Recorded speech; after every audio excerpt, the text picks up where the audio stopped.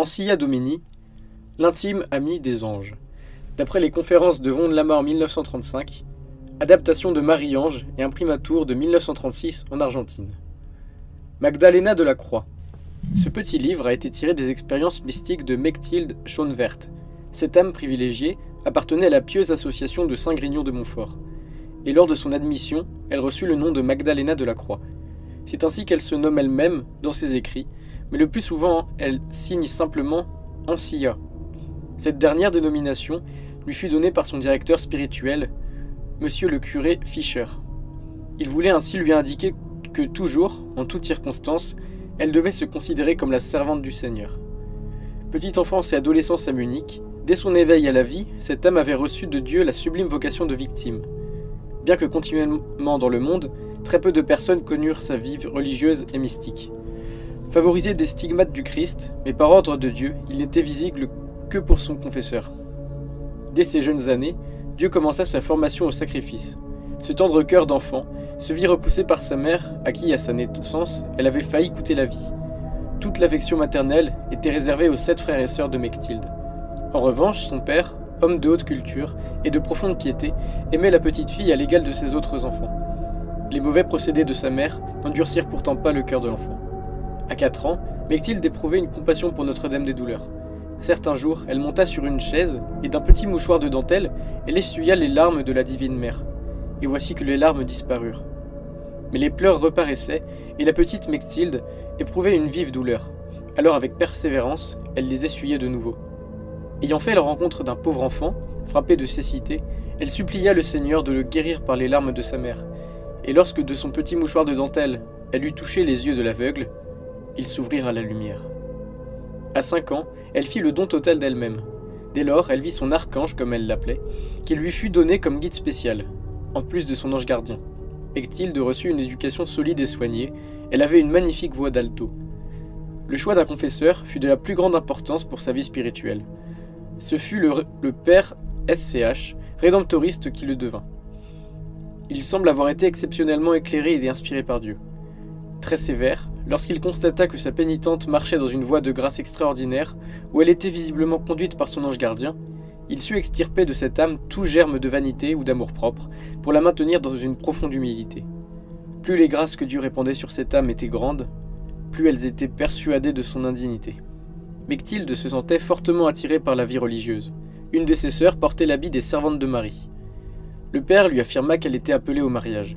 Ce fut ainsi qu'elle épousa le 7 mai 1895 un homme à qui elle donna toute son affection, mais qui bientôt changea d'attitude envers elle et montra un caractère difficile, qui lui fut un tyran dans le plus mauvais sens du mot, trouvant un malin plaisir à la martyriser jour et nuit, physiquement et moralement. Et cependant, elle lui garda tout son amour.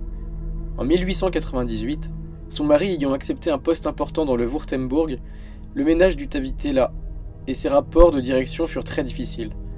Le mariage fut pour elle le chemin du Golgotha.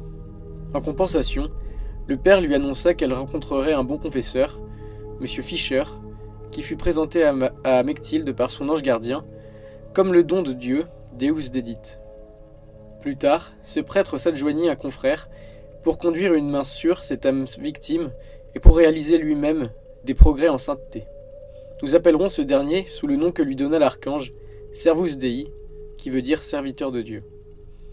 Le journal de Magdalena, une centaine de pages, contient avec tous les détails les relations de ses croix, de ses souffrances, comme aussi de ses grâces extraordinaires. Une croix particulièrement lourde, pour elle, fut de ne pas avoir d'enfants.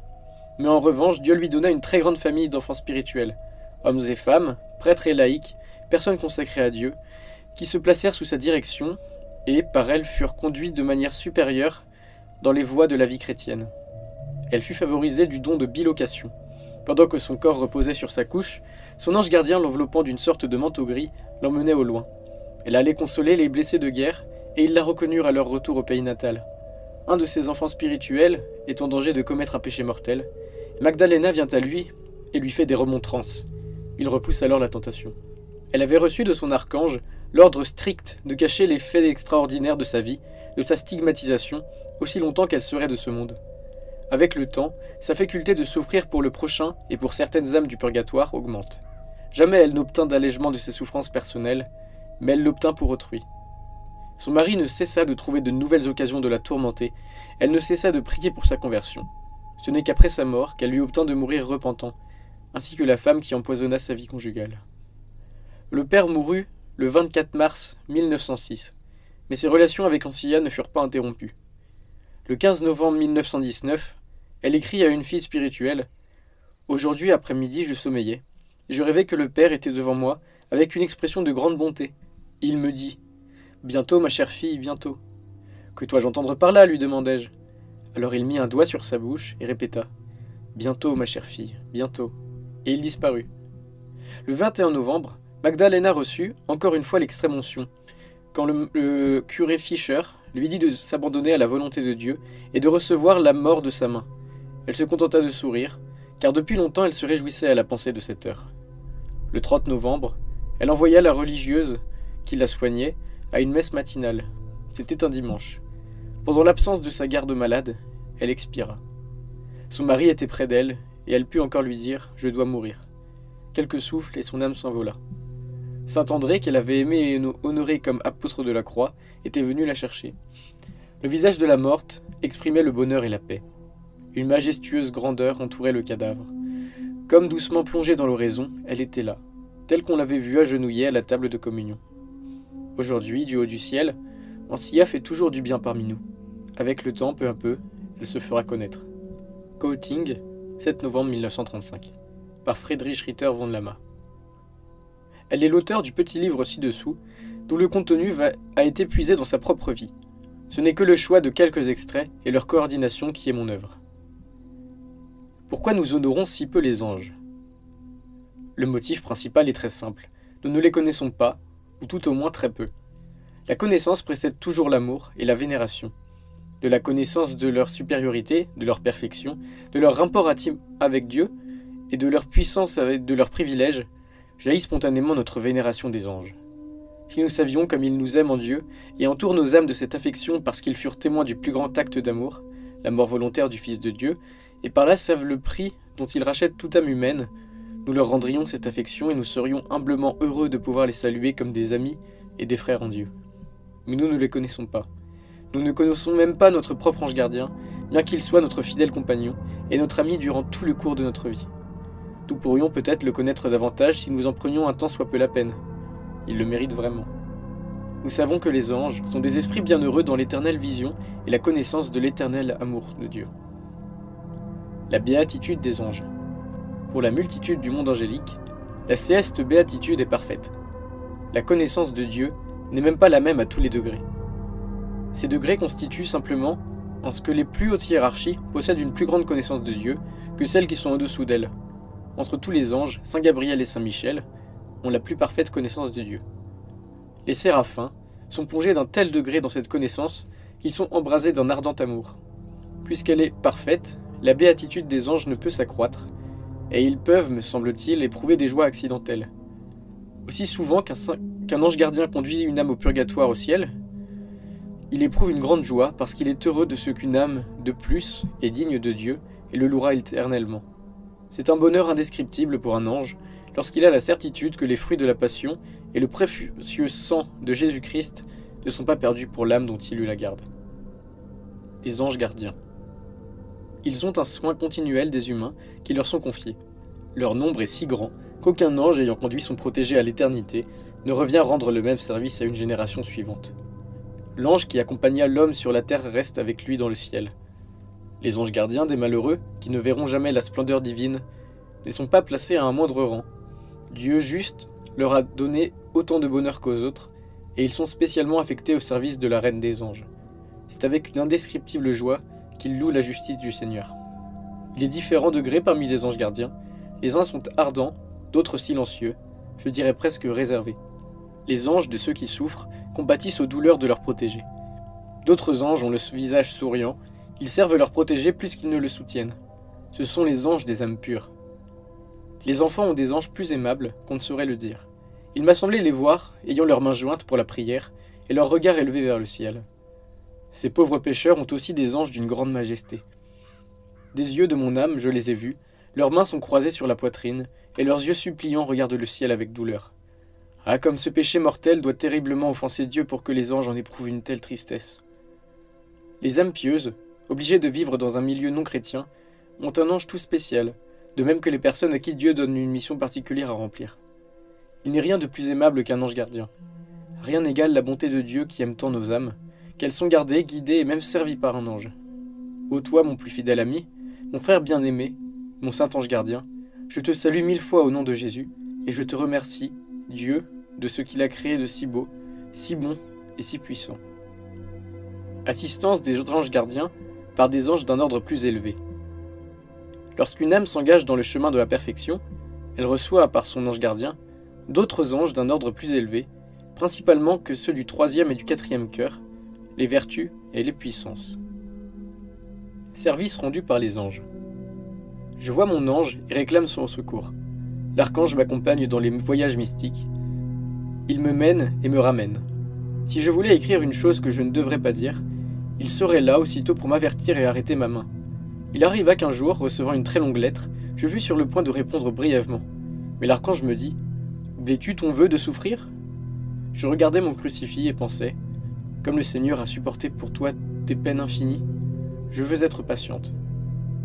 D'après ce qu'elle me racontait, communique un de ses enfants spirituels, son ange lui apparut vêtu de manière différente. Vêtements verts et clairs signifiaient des petites souffrances et des contrariétés. Vert sombre, c'était l'annonce de grandes douleurs et de lourdes croix. S'il portait des vêtements sacerdotaux, comme l'aube et l'étole, il venait annoncer de grandes grâces, alors il avait l'air joyeux et solennel. Vers le soir, il apparaissait souvent vêtu de bure sombre, et tenant un bâton, comme les pèlerins. Cela signifiait qu'il venait la chercher. Comme je lui exprimais mon étonnement de ce qu'un ange pût l'emporter avec le poids de son corps, elle me répondit Comment vous expliquez cela? Imaginez-vous que mon ange m'enveloppe d'un voile gris, ou qu'il m'entoure d'un épais nuage, et qu'ainsi nous partons. Vers où? Elle me raconte ceci.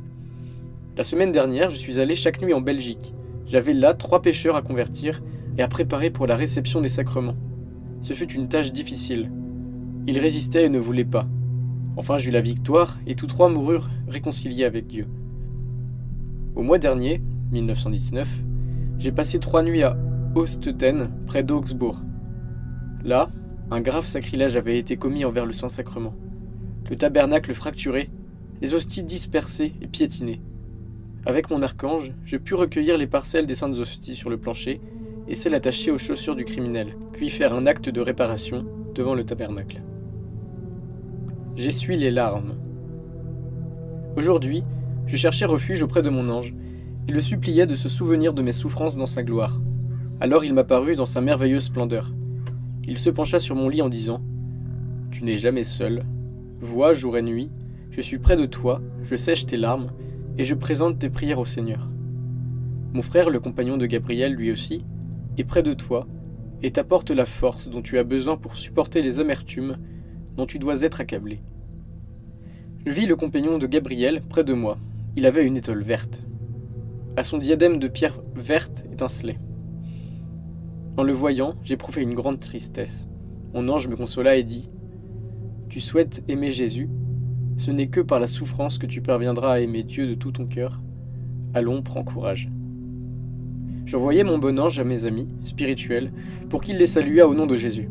Je ne vois pas mon archange, mais toujours mon ange gardien est près de moi. Il est si aimable et si bon. Aujourd'hui, vers le soir, quand je souffrais beaucoup, il me prit dans ses bras et appuya sur sa poitrine ma tête endolorie. Aussitôt, je me sentis mieux et la fièvre me quitta. Les anges gardiens le culte des anges gardiens apporte beaucoup de consolation et de courage. Ils sont partagés en divers ordres, leurs couleurs qu'ils revêtent, dans mes visions, sont différentes. C'est parmi eux qu'ont été choisis les sept esprits bienheureux qui se tiennent devant le trône de Dieu, toujours prêts à exécuter ses ordres. Saint Michel. Il est toujours le plus près de Dieu le Père. Je le vois semblable à un guerrier. Sa beauté est d'une sublime élévation. Les anges de son ordre ont le même aspect que lui. Ces archanges assistent les martyrs, pendant leurs tourments, comme aussi tous les hommes qui souffrent persécution pour Dieu. À de semblables heures, Dieu, par Saint Michel, envoie un archange qui, avec l'ange gardien, vient au secours de celui qui est persécuté ou martyrisé. Que d'actes de renoncement et de mortification héroïques, que de force de volonté chez des âmes qui ne pensent pas qu'elles sont redevables aux anges du secours qu'elles ont reçu. Les anges sont si fidèles au service des hommes, et les hommes sont si ingrats envers les anges. Saint Gabriel. Il est tout particulièrement le messager du Saint-Esprit. Ses privilèges le mettent au même rang que Saint Michel.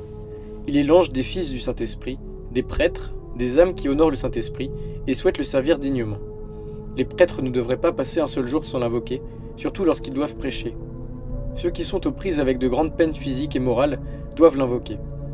Il nous obtient un grand amour pour la Vierge Marie. À l'heure de leur mort, il viendra saluer et conduire à sa reine les âmes qui l'auront invoqué souvent. La beauté de Saint Gabriel est séduisante, irrésistible, elle gagne les cœurs, elle n'est pas aussi imposante que celle de Saint Michel. Une fois, j'étais agenouillé devant mon crucifix, auquel je ne voyais pas le Christ suspendu, et je méditais sur l'abandon et les effroyables douleurs de Marie. Je pleurais amèrement sur les souffrances de la Vierge Marie, lorsque je sentis un suave parfum. Ma chambre s'illumina, et je vis Saint Gabriel, qui me dit avec une grande joie Je te salue, toi et tes larmes bénies. J'étais ébloui par l'iradente clarté qui émanait de l'ange du Seigneur, et je fermai les yeux. Quand je les rouvris, la Vierge Immaculée était devant moi, pleine de bonté. Une fois encore, Saint Gabriel se tourna vers moi et dit Tu as souffert avec Marie, réjouis-toi avec elle. Tu n'as jamais récité le chapelet des sept joies Fais-le donc. Le chapelet apporte de grandes joies à ceux qui le récitent et beaucoup de joie à la Reine du ciel. Fais-en part à tes amis spirituels. Salue-les au nom de Jésus et dis-leur que ma Reine les aime et veille en tout temps sur chacun d'eux, car ils travaillent à répandre mon culte et celui de tous les anges. Ceci est une inexprimable joie pour la Reine des anges. L'ange gardien de l'humanité de Jésus. À l'Angélus, saluons Saint Gabriel. Avec quel délice il a d'entendre les mots Ecce ancia Domini. Voici la servante du Seigneur. Et comme ici, s'est profondément incliné lorsque le Verbe s'est fait chair. Saint Gabriel est aussi l'ange gardien de l'humanité de Jésus. C'est lui qui, le premier, annonça la naissance du Christ au berger et il accompagna la Sainte Famille pendant sa fuite en Égypte. Au Jardin des Oliviers, il soutint Jésus dans son agonie. À la quatrième station du chemin de croix, il se tenait près de Marie quand Jésus mourut sur la croix. Il était près de lui. Il fut l'ange de la résurrection et celui de l'ascension. Parce que cet ange assista le Seigneur mourant, ceux qui vénèrent Saint Gabriel seront consolés et fortifiés par lui à leur dernier moment. La fête de Saint Gabriel est proche de celle de Saint Joseph. Quand Saint Joseph était de ce monde, Saint Gabriel était en active relation avec lui. Il lui communiquait les conseils et les commandements de Dieu. C'est pourquoi il est dans l'ordre divin que les têtes de l'Annonciation, de Saint Joseph et de Saint Gabriel, se retrouvent dans les mêmes mois, la même octave. Les premiers serviteurs de la Virginale Reine. La divine Providence ayant désigné Saint Gabriel pour être le premier serviteur de Marie, Reine des Vierges, il demeura toujours près d'elle. Ce privilège élève Gabriel au-dessus des autres anges on ne peut lui faire plus grand plaisir que de remercier la Sainte Trinité de l'avoir choisi pour annoncer à Marie le mystère de l'incarnation. Ô toi, bienheureux Esprit céleste, élu de Dieu pour transmettre ses ordres, je te salue avec une humble tendresse, et je me réjouis au-delà de toute expression, en pensant au moment où dans le ciel je pourrai comprendre tes privilèges et ta beauté. Toi, rempli de grâce, entre tous les anges, toi, élu par le Seigneur, toi, le serviteur béni de la Vierge Immaculée, je te salue mille fois, au nom de Jésus et de ta céleste reine. Je t'en supplie à l'heure de ma mort, annonce-moi que j'ai trouvé grâce devant Dieu. Saint Raphaël. Saint Raphaël est le patron, le protecteur des confesseurs et de leurs pénitents. Celui qui l'honore aura toujours un bon directeur de conscience. Il est l'ange de la consolation dans les difficultés de notre temps. Il est notre secours dans la détresse. Il s'intéresse d'une façon particulière au sacrement de pénitence. Les gens engagés dans le sacrement de mariage ne doivent pas l'oublier. On représente ordinairement Saint Raphaël tenant un bâton, semblable à un sceptre, Saint Gabriel un lys, Saint Michel un glaive et un bouclier. L'archange de la patience a son visage tourné vers le ciel. Ses mains sont jointes pour une fervente prière. Sa beauté a quelque chose d'émouvant, je dirais presque mélancolique. Où Dieu l'envoie, la résignation et la patience pénètrent les âmes. Il y a des personnes auprès desquelles il séjourne presque continuellement. Ces natures privilégiées peuvent, être, peuvent tout supporter, même l'incroyable. Partout où ses regards s'arrêtent, il y a une croix, et il aide celui qui souffre avec courage à la porter. Ancilla était de cela. L'archange secourable, j'ai besoin de toi, moi aussi. Je ne suis pas digne de demander ta visite, mais viens pour l'amour de Dieu, afin que je ne l'offense pas par mes pensées de lâcheté et d'impatience. Maintenant, je considère davantage le privilège de cet ange. Oh que le ciel doit être beau. Les souffrances sont de très grands bienfaits des grâces de Dieu. Ce matin vers trois heures, j'ai vu l'archange Raphaël. Il avait l'apparence d'un pèlerin, mais son visage a une grande majesté, à laquelle se joignait une grande bonté. Je s'ouvrais une grande oppression. Il mit sa main sur mon cœur, qui s'apaisa, et mes souffrances diminuèrent. De tout mon cœur, je remerciais Saint Raphaël, lui recommandai aussitôt Deus dedit. Je demandai la guérison de Servus Dei. Il me sourit et me dit Les désirs de Deus dedit, dont tu sollicites la réalisation, seront allégés. Mais il aura toujours de ce souci, car le Seigneur ne lui en livrera pas complètement. Il y a des désirs et des soucis dont Dieu ne délivre jamais, parce qu'il veut toujours être prié. Il aime par-dessus tout les prières pleines d'abandon à sa volonté. Dieu est infiniment bon et miséricordieux envers les hommes qui ne laissent rien sans récompense. Et même qui le prient et qu'il semble ne pas écouter, il donne de grandes grâces qu'un cœur humain ne pourrait se les présenter. La compréhension des prévenances de la bonté divine est une des plus grandes joies réservées aux âmes humaines dans la bienheureuse éternité. Quelle est grande la valeur de souffrance Les souffrances sont les plus grands bienfaits et les plus grandes grâces de Dieu. Les hommes ne comprennent pas plus la valeur de la souffrance qu'ils ne comprennent l'extraordinaire grandeur de la puissance du prêtre.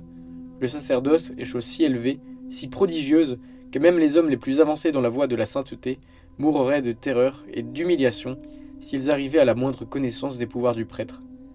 Cette connaissance appartient à la béatitude éternelle. Il demeura muet dans une sublime contemplation.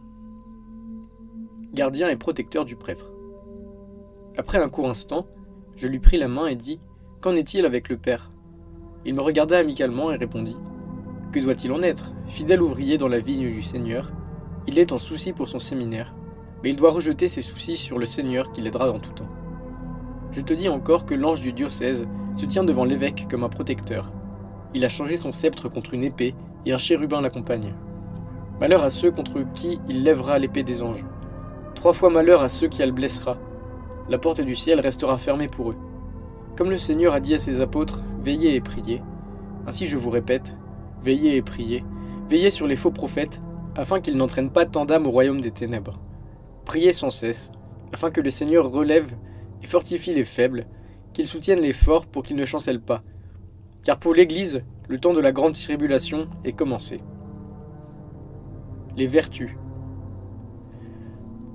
Comme leur nom l'indique, ces anges personnifient les vertus. Dieu les envoie à tout homme qui, de toute l'énergie de sa volonté, travaille avec persévérance à son amélioration, qui ne s'arrête pas lorsqu'il a extirpé un défaut, mais au contraire continue à employer tous les moyens de mortification spirituelle et corporelle pour sauver son âme. Il est des prêtres qui ont continuellement un de ces anges près d'eux. Généralement, ils ont peu de soins pour eux-mêmes, ne se ménagent point et se mortifient sans cesse. Ce sont les préférés des vertus. Maintes pécheurs convertis et accompagnés d'un de ces anges. L'ange encourage jour et nuit, et le pénitent ne cesse de lui obéir, car l'ange l'oblige à persévérer par la force des vertus qu'il possède. Toutes les âmes attirées à la vie intérieure doivent invoquer spécialement les anges de ce cœur, car les bonnes pensées ne suffisent pas à nous rendre parfaits. Il faut aussi la force de la vertu pour les mettre à exécution. Les puissances. Les anges du cœur des puissances sont grands. Ils m'apparaissent portant une aube et une dalmatique. À peu d'exceptions près, ils ne servent que les prêtres. Leur force est plus intense que celle du cœur précédent. Devant eux, le démon s'enfuit. Leurs mains sont croisées sur la poitrine. Leur regard a quelque chose d'impérieux, d'irrésistible. Leur visage resplendit magnifiquement. Ce cœur mérite bien sa dénomination par la haute majesté de ses anges. Ils protègent les prêtres, spécialement dans l'exercice de leur ministère. Ces anges doivent être invoqués avant la récitation du bréviaire, car ils chassent les distractions dans la prière. Pourtant, on ne pense jamais à eux. Anges, archanges, chérubins, séraphins sont invoqués alors que sont négligés les autres cœurs. Du troisième et du quatrième cœur, les prêtres reçoivent une assistance spéciale dont ils ont besoin au confessionnal pour diriger les âmes consacrées à Dieu. Les confesseurs ont aussi besoin de ces anges lorsque des âmes spécialement aimées de Dieu sont sous leur direction. Les prêtres, qui jour et nuit ont un de ces anges, sont les privilégiés de Dieu, car cet ange conduit à la connaissance de soi-même et donne un vif désir de perfection. Quand un prêtre est gardé par un ange des puissances, il est à peu près certain que plus tard, il recevra un ange du cœur des dominations. Il est arrivé qu'un prêtre dès son ordination ait reçu un ange des puissances, parce qu'il était appelé à une grande activité comme confesseur. Un prêtre assisté d'un ange des puissances exerce une particulière autorité sur les âmes, et son ministère est béni. Chaque fois que leur zèle s'attidit, l'ange le ranime. On invoque l'assistance des anges de ce cœur, dans les sécheresses spirituelles, dans toutes les mauvaises dispositions intérieures, et dans les tentations de colère et d'impatience. Les principautés. Chaque paroisse a un ange spécial, qui appartient au cœur des principautés. Cet ange est grand et d'un magnifique aspect. Il est entouré d'un cœur d'autres anges. Prosterné devant le Saint-Sacrement, il prie jour et nuit pour les membres de la paroisse. Il veille à ce que les mourants reçoivent le dernier sacrement et à ce que les enfants soient baptisés. Ils connaissent chaque paroissien de leur Église. Il implore le pardon de Dieu pour chaque offense grave. Ils sont habituellement des intercesseurs. Ils honorent le Dieu caché dans l'hostie, si oublié des hommes, et les attendent en vain pour réparer l'indifférence des âmes. Ces anges chantent le Sanctus d'une manière mystérieuse et sans interruption. On ne les invoque presque jamais. Le culte de ce cœur d'ange apporte la joie et l'assiduité dans la prière. Leurs traits sont gracieux et pleins d'amabilité, mais ils expriment une profonde douleur si quelqu'un reçoit la communion indignement. Dans tel cas, ils se prosternent et disent des prières réparatrices. Aucun prêtre ne devrait négliger de saluer les anges de la paroisse dont il a la charge. Par cette pratique, il recevrait des grâces abondantes, grâces qui sont rarement méritées. La fête de la dédicace est jour de joie pour les principautés. L'ange de chaque église présente à Dieu les prières, les actes de piété, les mortifications, les mérites accumulés depuis la dernière fête. C'est aussi le jour où le prince céleste bénit l'édifice. Cet ange n'abandonne jamais les enfants de la paroisse et prie sans cesse pour Dieu pour eux. Il leur obtient courage et force. Une mère ne peut prier avec plus de ferveur que lui, mais personne ne le remercie.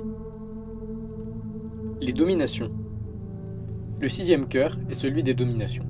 Ce sont les anges à qui Dieu confie ceux qui doivent enseigner, que ce soit dans la chaire d'une grande école, celle d'une église, ou au confessionnal lorsqu'il s'agit de direction spirituelle les missionnaires sont gardés par des dominations. Ces anges sont avec tous ceux qui s'efforcent d'étendre le royaume de Dieu sur la terre. Les supérieurs de communautés et de séminaires ont aussi un de ces anges, à condition qu'ils soient humbles.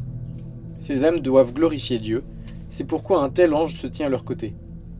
Dans mes visions, ils ont un bouclier portant le nom de Dieu, leur visage luit comme le soleil, leur couronnement ébloui par sa magnificence. Il faut les invoquer pour obtenir l'extension du royaume de Dieu en ce monde par la conversion des hérétiques, des incroyants, des catholiques tièdes et de ceux qui n'en ont que le nom. Dans le découragement, ayons recours à eux. Ils nous aideront. Mais on ne pense pas souvent à ces anges.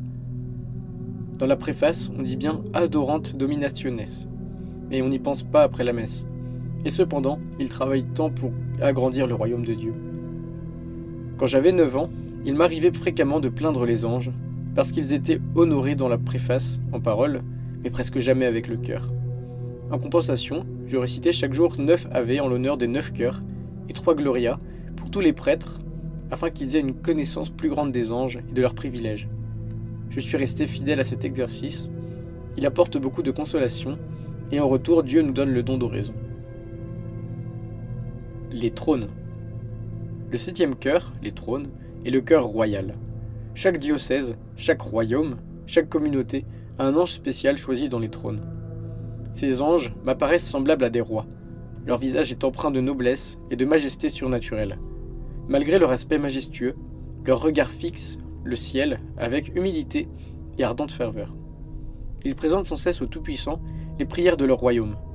Ils offrent à la Sainte Trinité tous les renoncements, les sacrifices, les mortifications qu'exerce chaque cœur humain, et les ennoblissent, les sanctifient par leurs propres prières. Leur souveraineté consiste en ce perpétuel dévouement, leur règne dans la plus profonde humilité, leur couronne dans un brûlant amour. Par le vouloir de Dieu, il est fait mention d'eux dans la préface, sinon ils seraient jamais nommés. Il y a quelque chose de silencieusement tragique dans le service des anges. Ils font tout ce qui est en leur pouvoir pour l'humanité coupable, et les malheureux hommes, pauvres de foi, sont de glace. Ils les oublient en prétendant que leur existence est un conte gracieux, les anges nous servent sans relâche. Ils n'attendent aucun remerciement et en reçoivent rarement. Pourtant, la dévotion aux saints anges nous aiderait à atteindre la perfection et la sainteté. Les chérubins sont les glaives du Seigneur. Leur vêtement est de resplendissante et pure lumière. Leur face est sévère et comme expression ressemble à Saint Michel. Ils sont ceinturés de feu et leur main droite tient une épée à lame de feu. Leur couronne est faite de rayons de soleil. Ils personnifient le zèle à la gloire de Dieu et l'arme toujours prête à la défendre. Quand Dieu eut chassé Adam et Ève du paradis, du paradis terrestre, des chérubins en gardèrent l'entrée, dit l'Écriture sainte. Je crois que des chérubins doivent veiller sur le souverain pontife. Dans les tentations de doute, d'impureté, de scrupule, il est bon de les invoquer. J'ai vu que cette dévotion avait des résultats surprenants. Les séraphins. Voici le cœur bienheureux des séraphins. Que dois-je en dire? Ils sont amour et servent l'amour. Ils honorent, ils louent, ils aiment la Sainte Trinité sans interruption. Ils ne peuvent pas faire autre chose, et c'est leur béatitude. Leur amour s'enflamme de jour en jour et d'heure en heure. Un plus grand amour qui les a choisis pour son service et sa louange. Quel cœur ne désirerait pas être rempli d'amour en méditant les sublimes fonctions des séraphins, qui n'enviraient ces anges bienheureux entre tous, qui de toute éternité ont été créés pour aimer l'éternel amour, source de tout amour? Quel magnifique holocauste d'amour sont ces anges, qui sans cesse brûlent sans se consumer, et qui peuvent se plonger toujours éternellement dans l'amour. Quand on contemple la splendeur des anges, on voit mieux combien la terre est petite devant l'humanité misérable. Alors celui qui médite presse la perfection du Créateur et de son amour sans limite, qui livra son Fils pour nous sauver. Par la dévotion aux anges, nous nous rapprochons de Dieu. Pourquoi les anges sont-ils si peu honorés et aimés? L'ange gardien maître et avertisseur. L'ange sourit. Dites à Servus Dei qu'il y a beaucoup d'âmes qui n'ont d'autres désirs que de trouver Dieu et de le servir. Dis-lui qu'il est dans ce monde beaucoup plus d'innocence et de sainteté qu'il le croit la vie de sacrifice de telles âmes monte comme un encens vers le ciel et réjouit le cœur de Dieu. Ce matin de bonne heure, avant l'Angélus, mon archange me dit Tu ne dois désirer rien d'autre que d'appartenir à Dieu. En même temps, il me conseilla d'éviter les examens de conscience inutiles et d'être attentif à commencer et à terminer mes actions et mes paroles en Dieu. Lorsque j'ai répliqué que je trouvais cela très difficile, car il faut exercer une particulière attention, il dit Pour Dieu et sa volonté, Rien ne doit être trop difficile pour toi. Plus la lutte sera vive, plus le repos conquis sera profond et heureux. Délivre ton cœur de ce qui est terrestre, et Dieu viendra y demeurer. Donne tout ton cœur à ton Créateur et Maître, et il te donnera tout son amour. Mon archange me disait hier, il ne faut pas renouveler une confession générale quand elle a déjà été faite avec une bonne préparation et une ferme volonté de bien se confesser. Non seulement c'est tout à fait inutile, mais c'est perdre un temps précieux. L'âme ne doit pas toujours penser à la sévère justice de Dieu, mais aussi à son immense miséricorde. Puis mon ange m'avertit qu'avant de parler à quelqu'un ou de rendre une visite, je devais toujours prier ainsi. Ô Dieu, que cette visite, de cette conversion, il me vienne joie ou peine, j'accepte tout et je ne veux pas autre chose que t'honorer et te servir. Prie pour l'accroissement de tes peines. Aujourd'hui, après le repas, je m'assis dans ma chambre et voulus réciter mes habituels neuf pater et ave en l'honneur des neuf cœurs des anges. Je pensais à mon archange. Soudain, je le vis devant moi, ayant une expression sévère que je ne lui connaissais pas. Tu t'assieds pour prier, dit-il. Et tu as pensé auparavant Comme je suis fatigué, je me réjouis à l'idée que d'ici le mois de mai, je pourrais me reposer dans l'éternité. Comment est-il possible que toi, favorisé par Dieu de tant de souffrances, tu penses si facilement à quitter cette vie? Nous les anges, nous ne pouvons jamais souffrir pour Dieu et par sa volonté. Si nous étions capables d'éprouver de l'envie, nous aurions ce sentiment, envers les humains parce qu'ils peuvent souffrir. Va tout de suite demander pardon au Saint-Sacrement, de mésestimer cette précieuse vie de souffrance dont Dieu te gratifie, en te confessant, n'omet pas de t'accuser de ton peu d'estime de grâce de Dieu. Ayant rassemblé mes forces, je me rendis à l'église, où de tout mon cœur et en pleurant, je priai Dieu de me pardonner. Je demandai aussi à mon ange de ne plus être fâché. Il ne se montra pas.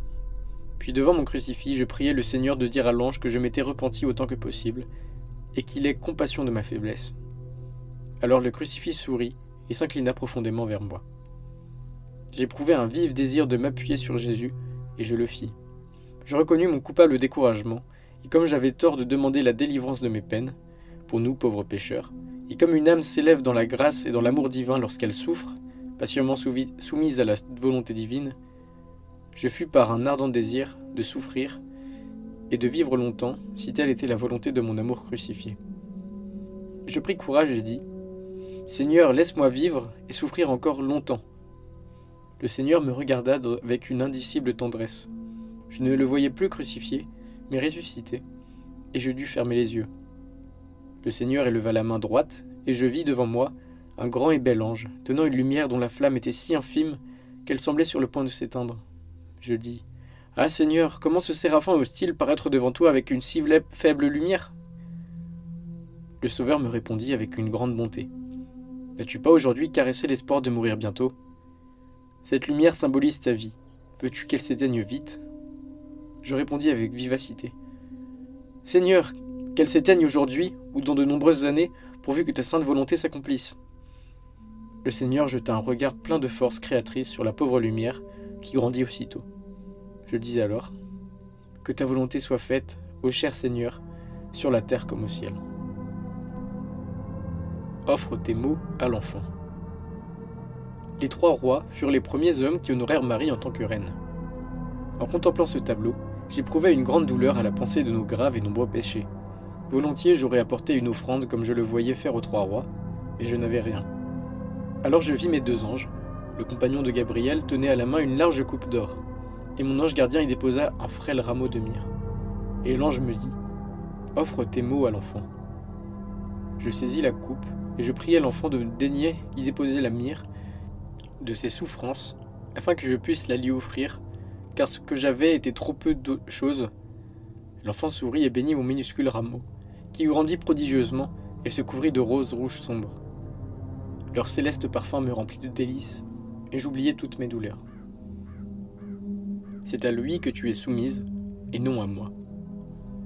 La fonction d'un directeur spirituel est si haute que nous, les anges, en sommes étonnés. Par ton obéissance, tu honoreras et serviras Dieu.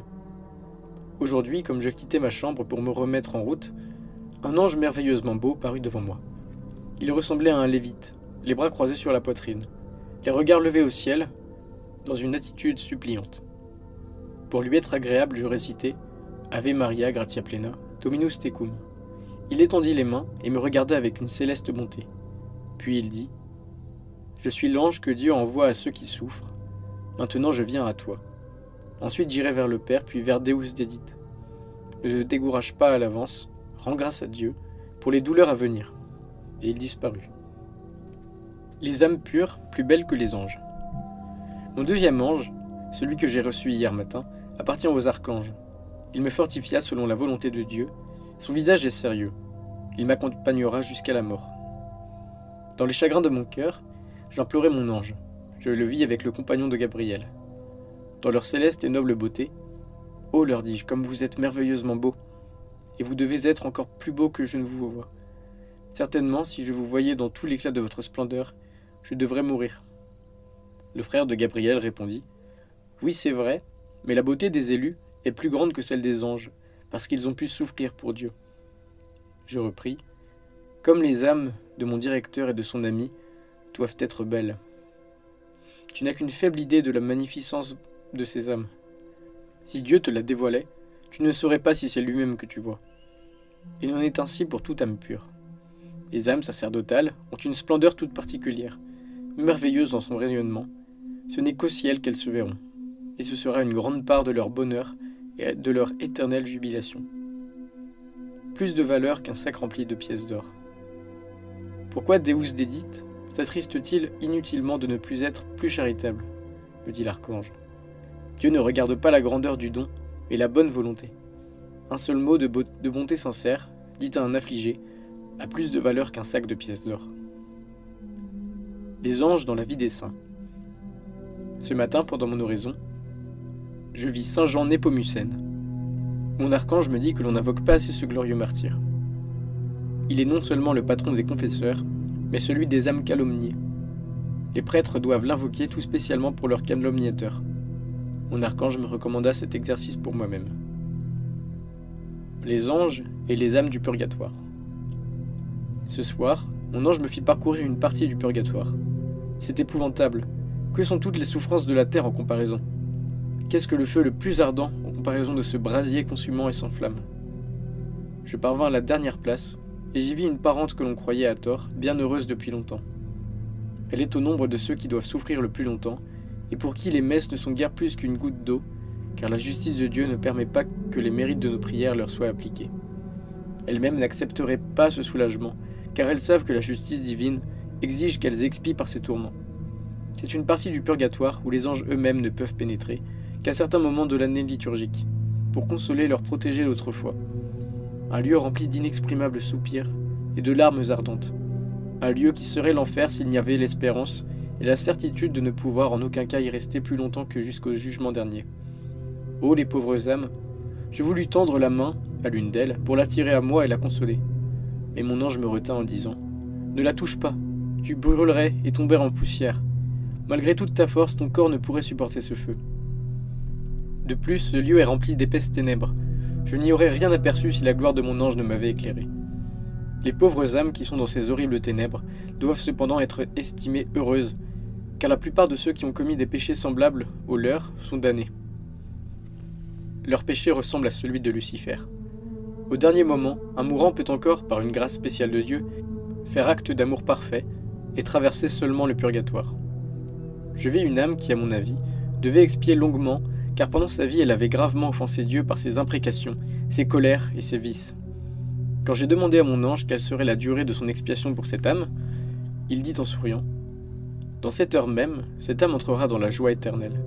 Et comme je m'étonnais, car elle était entrée seulement la veille de son éternité, il m'expliqua que cet homme, à ses derniers moments, sur le point d'être jugé, ressentit un si ardent amour et une si vive contrition, lui qui avait tant aimé la vie et en avait tant joui, se réjouit de mourir parce qu'il ne pourrait plus offenser le Sauveur.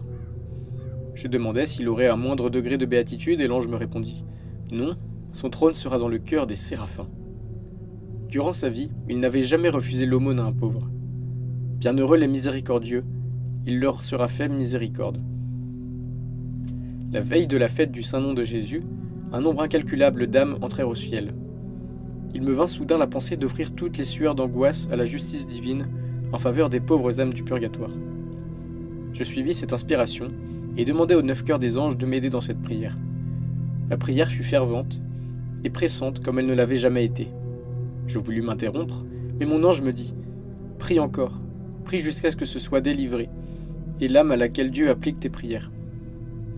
Mon âme fut si profondément émue que je ne trouvai plus d'autre prière que Ô Jésus, miséricorde, tu dois être miséricordieux, car tu as voulu mourir pour nous pauvres créatures et je renouvelais cette invocation de manière toujours plus pressante, avec d'abondantes larmes, car la plainte de cette pauvre âme parvenait à mon oreille.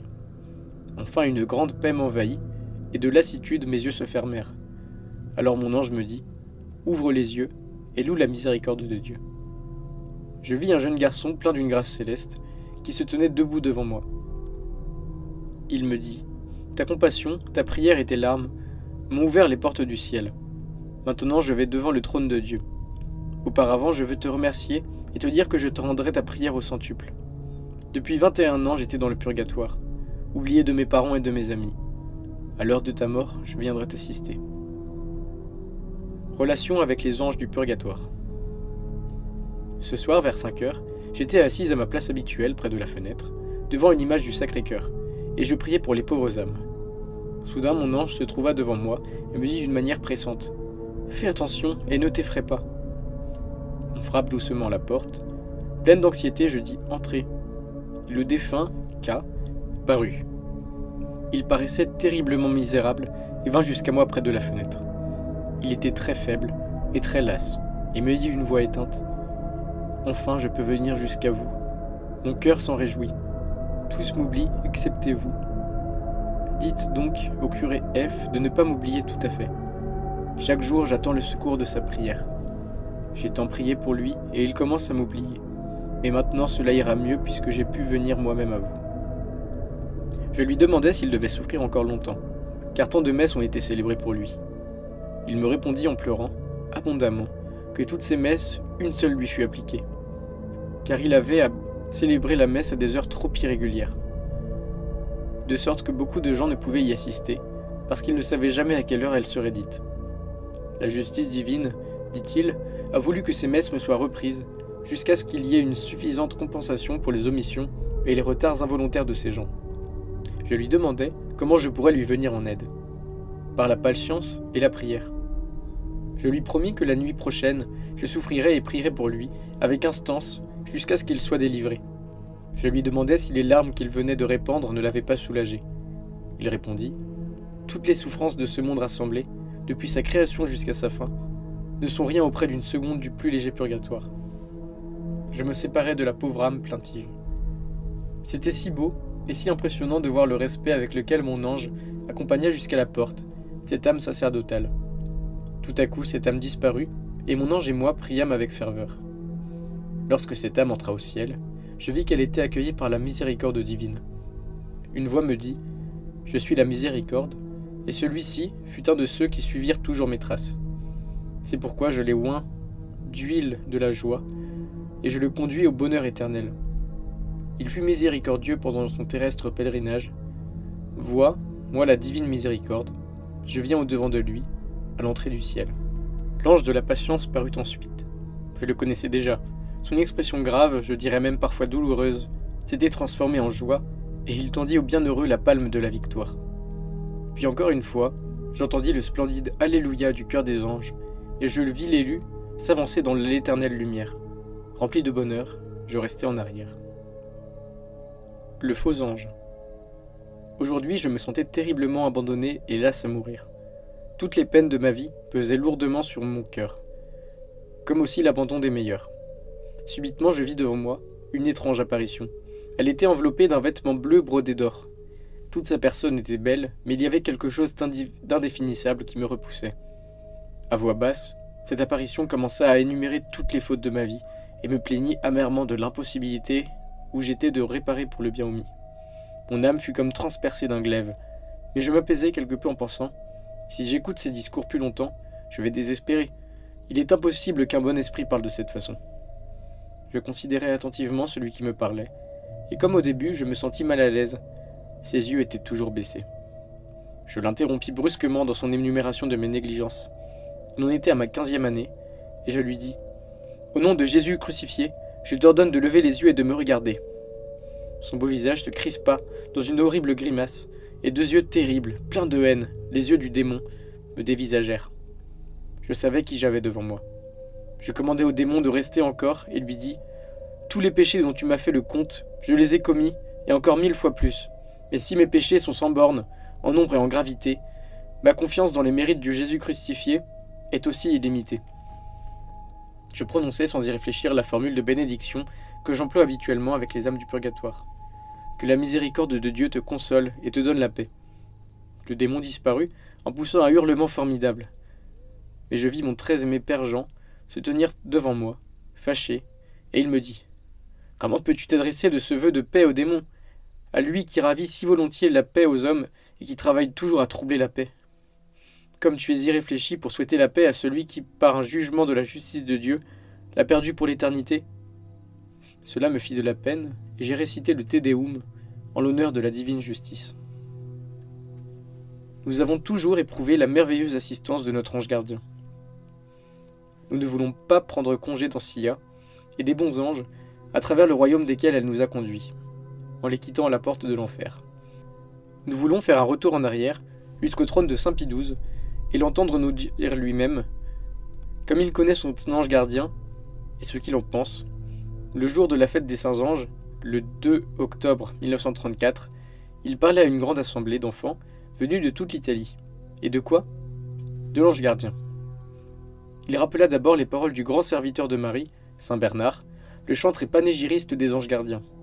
N'oubliez jamais ce compagnon de votre vie et honorez-le pour la présence, pour son dévouement, pour sa bienveillance. Ayez confiance en sa protection. En effet, l'ange de Dieu nous accompagne de sa présence. Il nous honore et nous aime par sa bienveillance et nous aide par sa protection. En conséquence, pour nous aussi, il a la même bonté que celle indiquée par Saint Bernard. Nous ne devons jamais oublier la présence de notre ange gardien. Ce prince de la cour céleste ne doit jamais avoir à rougir de nous. Enfant ou adulte, nous ne voudrons jamais faire quelque chose qui puisse offenser celui qui a soin de nous avec sollicitude. Jamais nous ne voudrons faire ce que nous n'oserions accomplir devant notre père, notre mère, ou le moindre de nos camarades. Car partout, à chaque instant, notre ange est présent. Mais ce n'est pas tout, sa présence est pleine de délicatesse et de bonté. Nous devons en retour l'honorer par notre délicate tendresse, notre soumission, notre dévotion, en y ajoutant notre reconnaissance envers Dieu. Nous prouverons notre pieuse confiance par une prière quotidienne, au commencement et à la fin de chaque journée, comme aussi pendant son cours. Et cela nous ferons comme le pape qui, de l'aurore la nuit, chaque jour de sa vie, invoque son ange gardien et répète souvent cette invocation dans la journée, surtout quand des embarras et des difficultés se présentent, ce qui naturellement n'est pas rare. Nous attachons une grande importance, dit encore le Saint-Père, à nous vous déclarer hautement ce devoir de reconnaissance, car nous avons toujours éprouvé le merveilleux secours de notre ange gardien. Très souvent, nous avons vu et senti que notre ange est à nos côtés, toujours prêt à nous soutenir et à nous secourir. Ceci, tous vos anges gardiens le font aussi, pour vous, chers enfants. Ils sont toujours là, toujours pleins d'amour, toujours vigilants. La certitude que nous sommes gardés par un prince de la cour céleste, par un de ces esprits dont le Sauveur a dit en parlant de ceux des petits-enfants, qu'ils contemplent sans cesse la majesté de Dieu, cette certitude, dis-je, ne doit pas nous inspirer seulement du respect et de la dévotion, mais aussi une pleine confiance. Cette confiance est nécessaire et doit s'affermir lorsque l'accomplissement d'un devoir pénible nous attend et que tenir de bonnes résolutions nous est difficile. Alors nous devons compter tout spécialement sur le secours, la défense et la protection de notre ange gardien. La prière est la plus vraie et la meilleure expression de cette confiance. Chacune des salutaires paroles de Saint Bernard, conclut Séverin Pontife, furent dès notre premier pas gravées dans notre cœur par notre mère, aussitôt que nous fûmes capables de les comprendre. Avec la grâce de Dieu, elles nous ont toujours soutenus dans les travaux de notre existence, et seront encore notre force et notre secours tant que le Seigneur nous accordera de vivre ici-bas. Amen.